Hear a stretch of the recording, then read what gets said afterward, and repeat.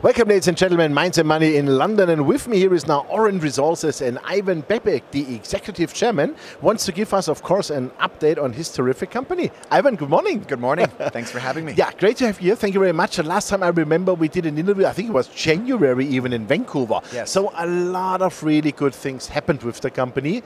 Please give us a short update. Sure, it's, uh, it's definitely been the year of sombrero for us. Uh, for those of you who are not aware of it, this is probably one of the best opportunities on the planet to go find a major, major mine or multiple major mines.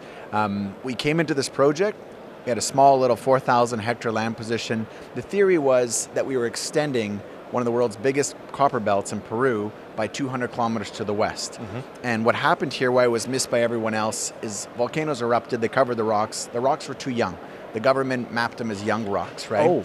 So the age of the rocks is so important. When these big events occur, when the big mines are formed around the planet, what we learned this year, this summer, was that we actually have the exact same age rocks as all the major mines next door, which is probably one of the biggest check marks you can get, besides the hundreds of meters of 0.6, 0.7 copper we've seen on surface from our sampling. Mm-hmm. Um, we filed our drill permits in July and we expect to have them in February, March of next year, which is incredibly fast. It's gone very smoothly. The market thought we were getting held up in our permitting, but we actually delayed our permits mm-hmm. because we actually found some historical drill holes on the edge of our system.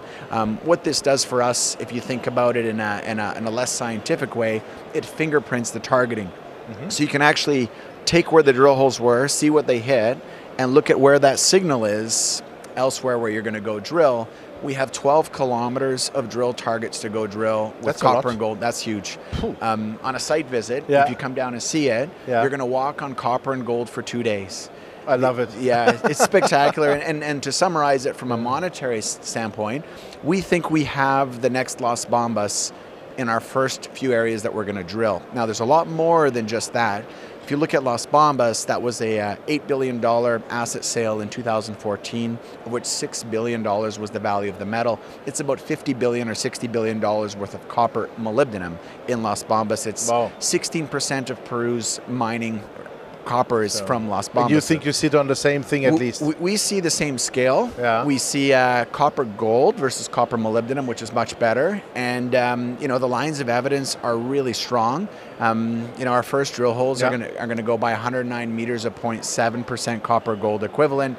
Anything around 0.4, 0.5 and up is going to be considered high grade yeah, here. Yeah. We have power lines on the property. The government put mine power in since we've had the property. Fantastic. There's a paved road to the property. There's towns nearby, not on yeah. the project. So yeah, truly spectacular from infrastructure. Um, that 109 meters of 0.7 it was the only exposure we had that could have gone for two, three, four hundred meters. We don't know. Mm-hmm. So here's what happens in February. We're going to drill on the first 25 drill pads. You can drill as many holes as you want. Mm-hmm. The average depth will range about 400 meters from surface, so everything's open pit, which is extremely, extremely important. And it'll go down to about 800 meters in some of the targets. That's how big the system wow. looks like it could be. So uh, truly a once in a lifetime for us.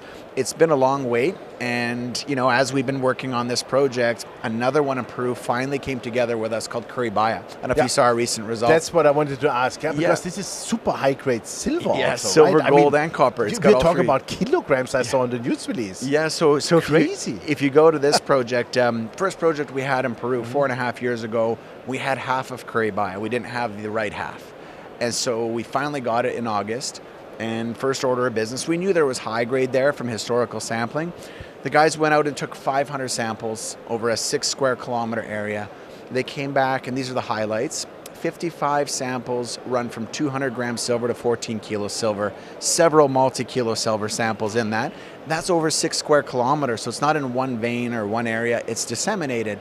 And that's truly a spectacular start to any project. And then you look at the gold numbers 40 samples run from 1 to 23 gram gold in the same area. And then you go and look at these huge copper structures coming in from the west, and they're running from 1 to 14% copper. So you say, hey guys, what does this mean? And, and we're scratching our heads, everybody is, because these are truly spectacular grades. Well, first of all, it's on the most prolific mining trend in Peru. Mines like Cerro Verde, Quellaveco, yeah. Tia Maria, yeah. which was just permitted right next door on the same belt. So you're on the address of major mines, much like Sombrero is on the Las Bambas trend. Mm-hmm. Um, so you've got the address of world-class deposits. You've got this incredible precious metals potential deposit but it's a porphyry target as well that's there. And you know, you have to get excited when you look at the model because you're either right on top of a, of a big porphyry or you're right beside one, mm-hmm. copper gold porphyry. But in this case, we think you could have a substantial precious metal deposit on top or beside the base wow. metal deposit, which is the best of both worlds. Fantastic. Cool. Uh, before we come to Committee Bay, um, I saw that you also did like a $6 million bridge financing. Ah, bridge yeah? yes. And uh, we, we got from some of our viewers, uh, they sent us questions and said, hey, what's going on there? Why do they now already a bridge loan? Because they're still exploration company. Yep. Uh, will there be, let's say, later a bigger financing at higher prices, or what's the game plan? So that's a good question. Because you are drilling yeah. a lot then next year, right? And you, you need money for sure. Of course. Yeah. Um, so a couple things. This year we've raised, including the bridge loan, we've raised $13 million. We only took three out of the six million of the bridge loan. Mm-hmm. And we did all the financings ourselves. It's been insiders, it's been my family, and a large investor, two couple large investors that have helped you know, support us in the marketplace. They yeah. own huge positions, seven million share blocks or whatnot. And the reason why we did the bridge loan versus a market financing is because August our share price went down to about a dollar fifty Canadian.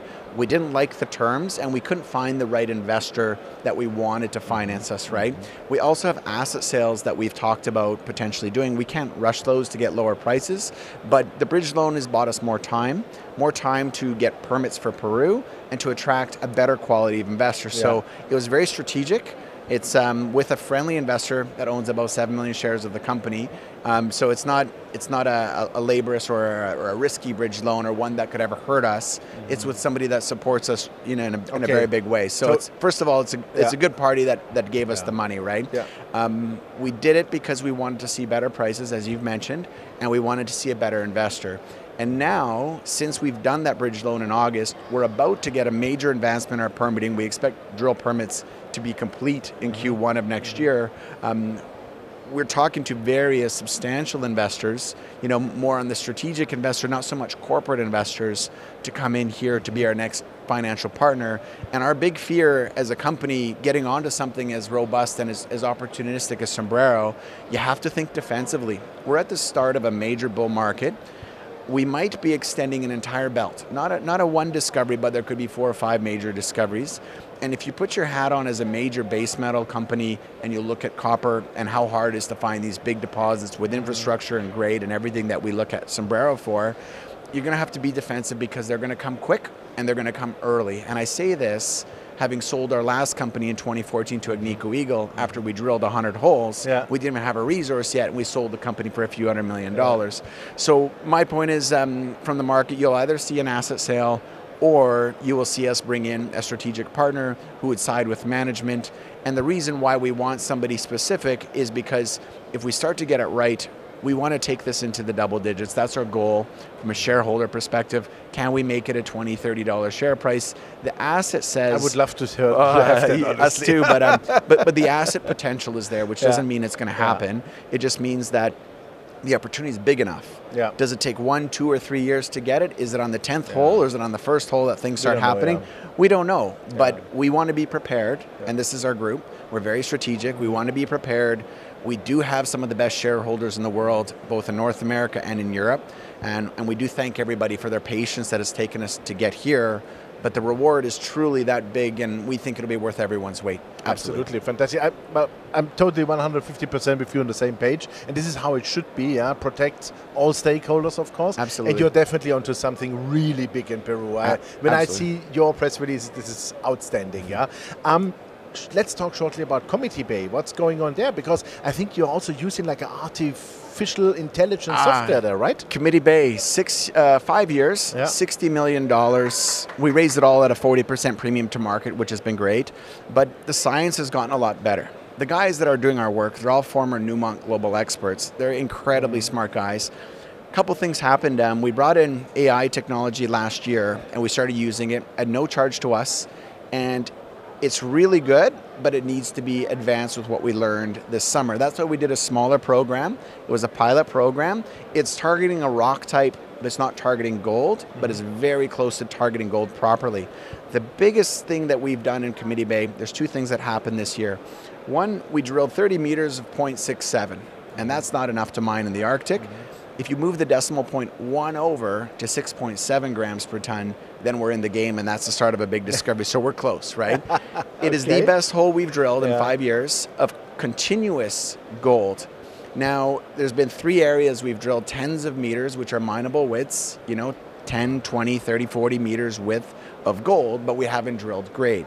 What we found out this year on a statistical basis, we took all of our data, we found a signal in our geophysics. That's when you put the electrical and the magnetic currents into the ground mm-hmm. that showed us what the high grade signal is that you should be targeting. So, the first ever revelation in geophysics, we mm-hmm. compared it to our Three Bluffs deposit, and now we know exactly what we want to go in and, mm-hmm. and drill. So, you will see in Q1 a bunch of targets that have that signal for high grade. So, we've had no problem drilling gold. We just want to drill high grade gold over mining widths, and now we think we have the key. Whoa, fantastic. That was a great final word. Thank you very much, Ivan. Uh, Thank you so really much. terrific, and I would say keep it going, keep the drills going, and hit us with a lot of good results next year. Perfect. Next year's all drilling in Peru. Thank you so love much. It. Thank you very Appreciate it. much, Thank Ivan. you very Great. much. Cheers. yeah, ladies and gentlemen, it was Ivan Bebek, the executive chairman of Auryn Resources. And yeah, you heard it. Phenomenal drill results this year, of course. Also for next year, they're already yeah waiting for the permits here for Q1 for Peru. Uh, but also Committee Bay looks outstanding, and it looks like that. Uh, well, he's operating in elephant territory in Peru for sure. But it looks like he has uh, also the elephant territory in his own backyard, in his sombrero property, and also with Curibaya and all the other stuff. Check out the company. Thanks for watching us, and bye bye from London.